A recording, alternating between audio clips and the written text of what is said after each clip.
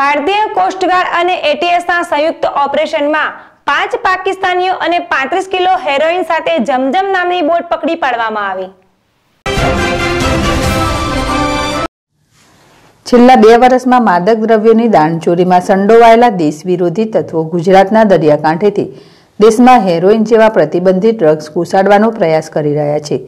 Gujarat police અને ભારતીય coast guard આવા કોઈપણ પ્રયાસોને નિષ્ફળ કરવા માટે પ્રતિબદ્ધ છે. અને આવા કોઈપણ જખમોને ઉગતા જ ડામી દેવા માટે તેમના દ્વારા વિવિધ ઓપરેશન હાથ ધરવામાં આવ્યા છે. ગુજરાતના દરિયાકાંઠેથી માદક દ્રવ્ય હેરોઇનના જથ્થાનું કન્સાઇનમેન્ટ દેશમાં લાવવામાં આવી રહ્યું હોવાની ગુજરાતના ત્રાસવાદ વિરોધી દળ એટીએસને ભરોસાપાત્ર સચોટ બાતમી મળી હતી. બાતમીમાં એ પણ જાણવા મળ્યું હતું કે આ જથ્થો પાકિસ્તાનથી આવી રહેલી પાકિસ્તાની માછીમારી બોટમાં લાવવામાં આવી રહ્યો છે. એટીએસના અધિકારીઓએ આ મામલે કોસ્ટગાર્ડનો સંપર્ક કર્યો હતો અને તેમના દ્વારા સંયુક્ત ઓપરેશન હાથ ધરીને પ્રતિબંધિત ડ્રગ્સનો જથ્થો જપ્ત કરવામાં આવ્યો હતો. તેમજ દાણચોરોની ધરપકડ કરવામાં આવી હતી.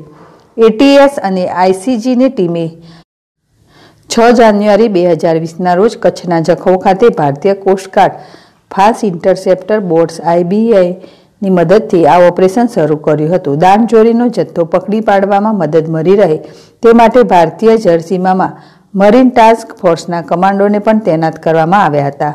જખૌની ઉત્તર પશ્ચિમ દિશામાં બાતમી મળેલા લોકેશન વિસ્તારમાં સતત સર્ચ ઓપરેશન હાથ ધરવામાં આવ્યું હતું. આ દરમિયાન એક શંકાસ્પદ પાકિસ્તાની બોટ ભારતીય જળસીમામાં આ વિસ્તારમાં જ ઓળખી કાઢવામાં આવી હતી.